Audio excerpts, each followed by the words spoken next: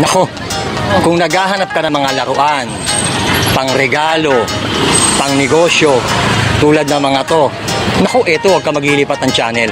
Dahil ito'y narapat mong panoorin. Itong aking ah, short informative information sa pwede mong mapanood dito sa iPromote. May idea ka na, kaya wag na natin patagalin to dahil ngayong araw, nandito ako sa lugar. Sa lugar, sa lugar na.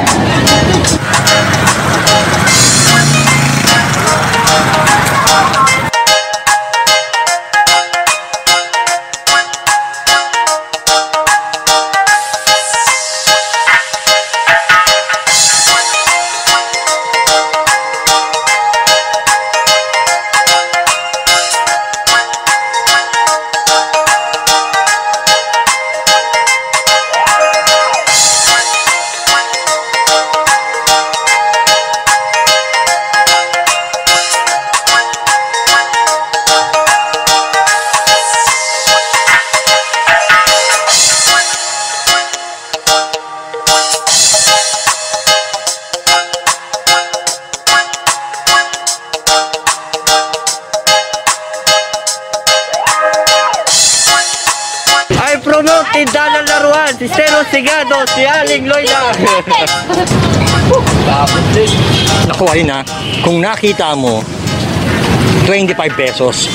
Ito yung mga halaga ng ah, laruan na pwede mong mabili dito. Uy, may idea ka na, laruan ha. Naku, alam niyo ba kung nasan ako? Teka muna. Pogi, nasan ba tayo? Hop, mamaya na. Kung nasan ako ngayon, mamaya na dahil iisa-isahin ko muna pwede nyo makita dito.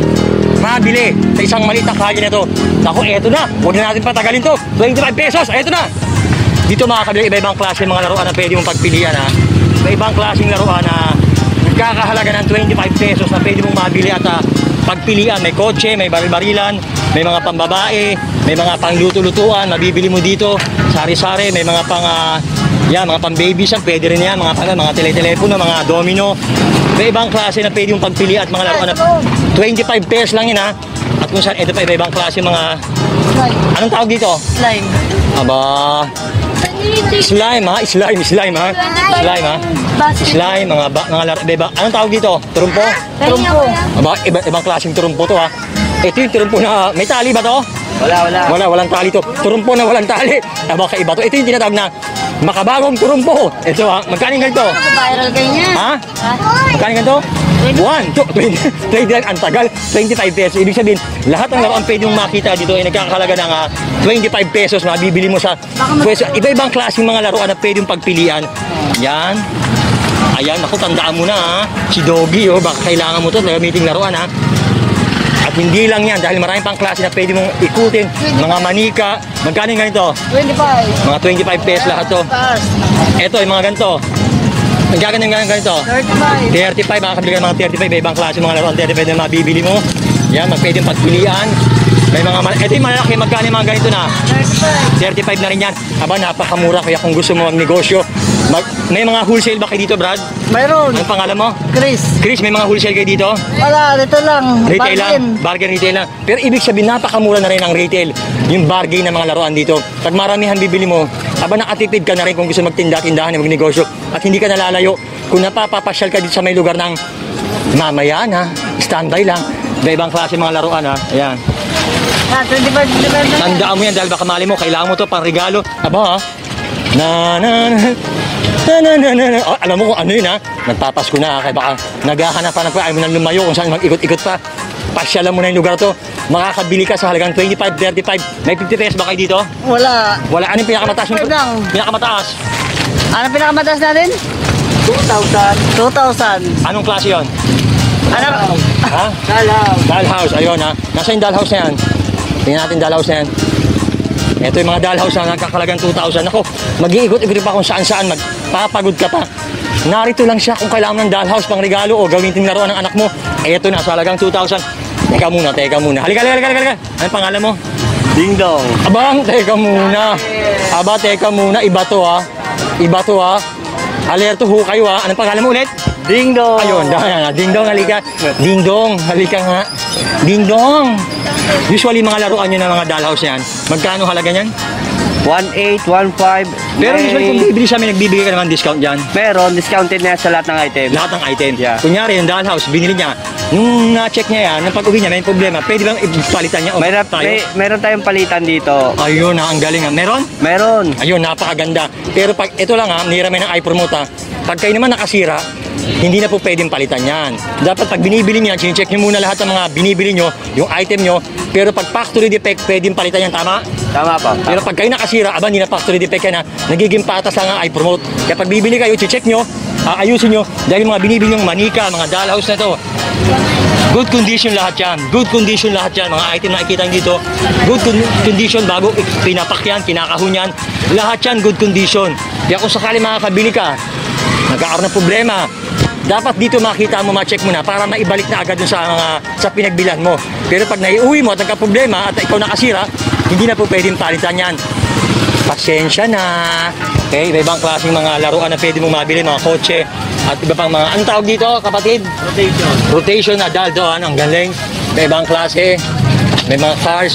Naku, napakaliit lang yung pwesto ko pero pag mamasdan nyo, marami kang pwede pagpilian ng mga laruan dito at mabibili mo.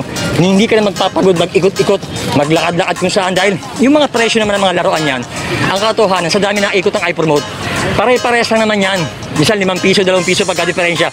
Eh, lalakbay ka pa sa iba. Mapapagod ka pa. Naiinitan ka pa. Mamamasahe ka pa. Magugutom ka pa. Aba, eto na. Dito ka na para sa malapit. Dito ka na bibili. Dahil naikot na po natin lahat-lahat ng mga tindahan ng mga laruan. Nakita natin yan. Hindi nagkakalayo ang presyo. Ang problema, kung malapit ka na pala dito, pwede ka na mamili, magtingin-tingin, at magtingin-tingin pa ng mga laruan na pwede mong mabili dito sa halagang hindi naman nag-aagwat sa mga presyo.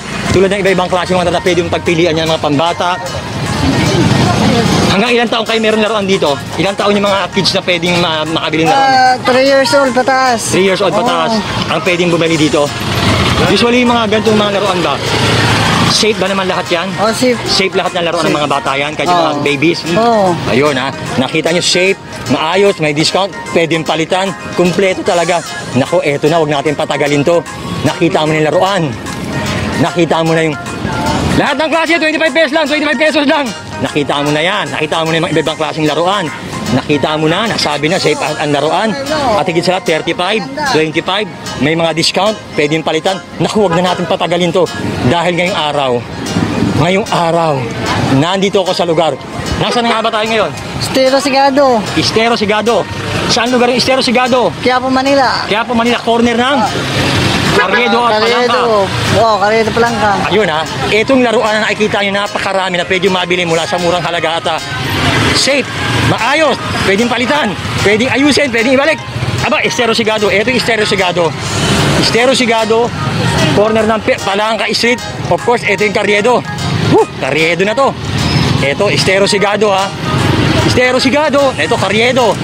Carriedo Street, mula sa Quiapo Church. Carriedo mula sa LRT Avenida, LRT Station. Ay, ay, ay, ito yon. Estero Sigado mga laruan. Halika na. Ayun, Estero Sigado ha. Napakabilis hanapin ha.